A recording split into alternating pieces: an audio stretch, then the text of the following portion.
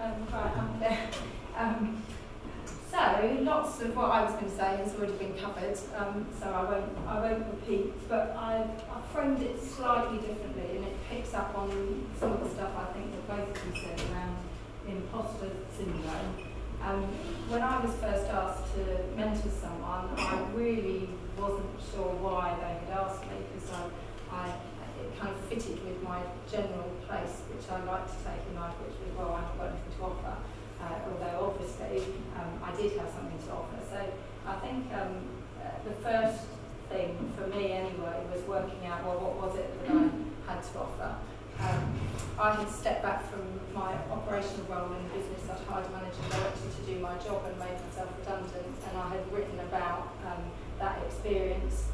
And uh, in writing about it, lots of people approached me and wanted to know, oh wow, how did you do that? And um, somebody asked me whether I would um, meet with uh, a young woman called Becca Dean, who's the, um, she was the um, co-chief executive of a charity the Girls Network, which is a mentoring organisation. Um, and somebody, it wasn't her that approached me, it was somebody she had met had approached me and asked me whether or not I would mentor her, which I did um, and still do.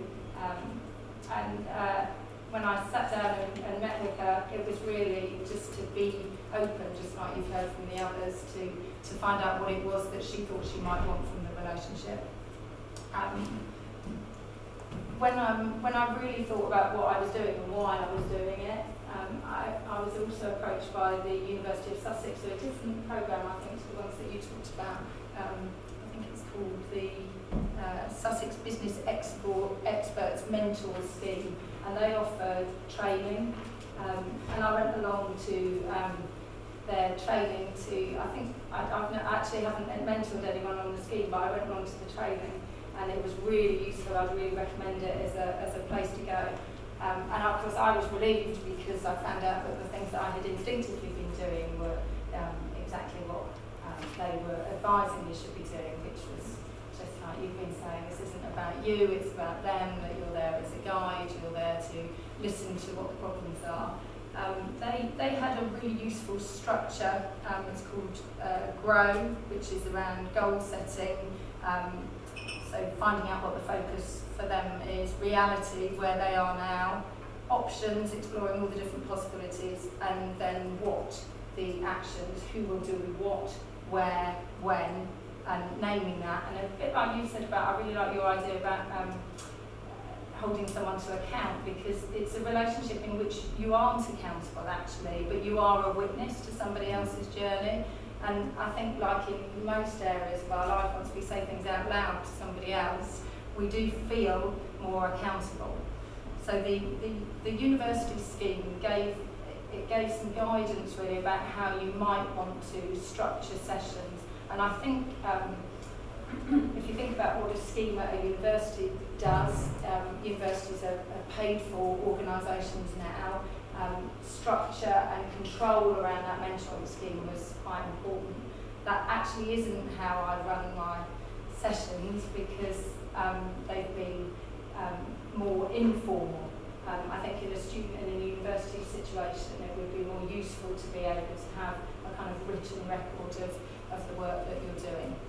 Um, anyway, the work I've done with Becca has been really, um, uh, was really useful for her um, in terms of the journey that she went on and her ability to make a change. And of course, the reason that somebody had approached me was because I had publicly made a change and somebody wanted to find out how they might benefit from that.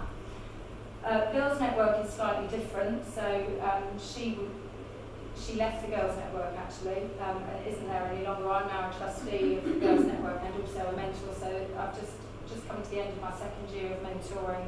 Um, so that's young girls from um, uh, the kind of criteria is from a disadvantaged, disadvantaged in some way.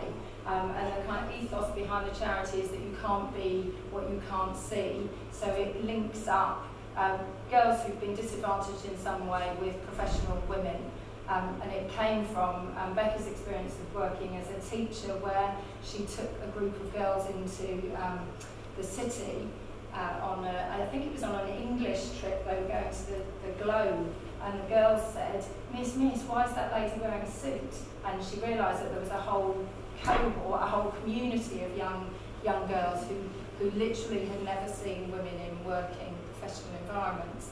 Um, so the charity is about five, just over five years old now, and for women in the audience, I would really strongly urge you to, um, to look into um, um, whether or not there's something that you can offer. It's a much more structured mentoring methodology. Um, you don't have to use the structure, but I think it's quite useful when you're working with vulnerable young people to have, have a structure. Safeguarding is really important, but it can be completely um, transformational. And it, and it goes back to that earlier slide about why me and what you can offer. I found on both, in both mentoring journeys, I've had doubts about the value of what I'm adding.